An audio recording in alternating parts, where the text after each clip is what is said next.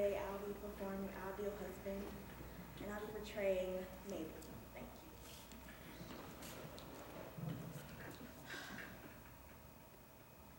Well, Tommy has proposed to me again.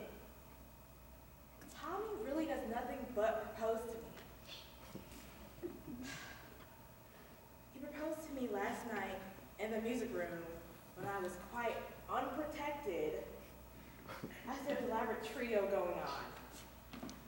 I didn't dare to make the smallest repartee. I need hardly tell you. If I had, it would have stopped the music at once. Musical people are so absurdly unreasonable. They always are perfectly dumb when one is longing to be absolutely deaf. Then he proposed to me in front of that dreadful statue of Achilles.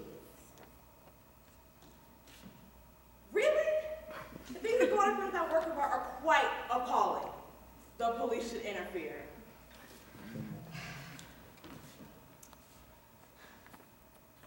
At luncheon, I saw by the glare in his eyes that he was going to propose again.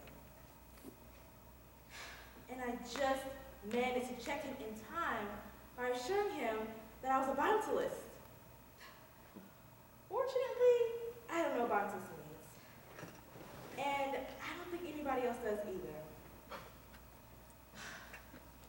But the observation crushed Tommy for 10 minutes. He looked quite shocked. And the way Tommy proposes is so annoying.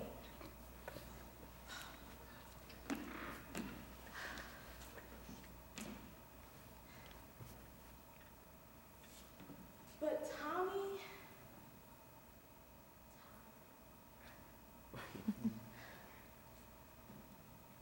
but Tommy proposed in a horrid way.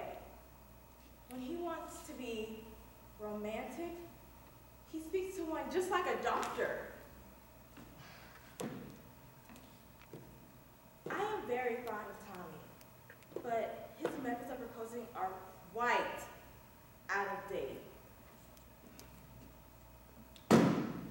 I wish, Gertrude, you would speak to him and tell him that once a week is quite often enough to propose to anyone, and that it should always be done in a manner that attracts some attention.